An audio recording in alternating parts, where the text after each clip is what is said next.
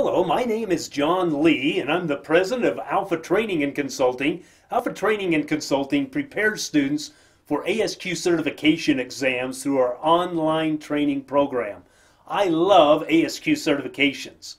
As you can see, I've uh, passed most of the certification exams that ASQ offers. I'm also a, a lean bronze certific certification. I, I'm also a Shingo Award winning author, but one of my favorite ASQ certifications is the CQI. It's a great certification. It's a very hard certification. You have to study very hard to get this certification.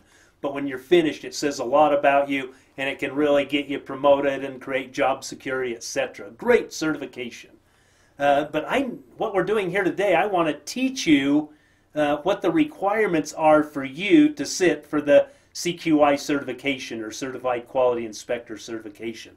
Let's go to the website and learn more about these requirements. All right, here we are at the ASQ uh, website, and it gives you the work requirements that you need to meet to take that certification exam. First of all, work, work experience, which they're going to require, must be in a full-time paid role.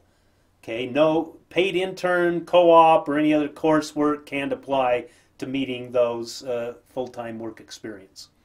And there's two requirements. First, you must, if you have two years on the job experience in mechanical inspection and you have a high school diploma or GED, you're good to go. You can go take the exam. Again, two years experience in mechanical inspection and uh, high school diploma or GED, you're good to go. Now, let's say you don't have a high school diploma or GED, you're still okay, not a problem. But instead of the two years on the job experience in mechanical inspection, you must have an additional three more years, which means if you do not have a high school diploma or a GED, you must have five years of mechanical inspection experience. So those are the requirements to sitting for the CQI certification. Congratulations, you have completed this video. If you have any questions, please contact me and I'll get back with you as soon as possible. Thank you and have a great day. Goodbye.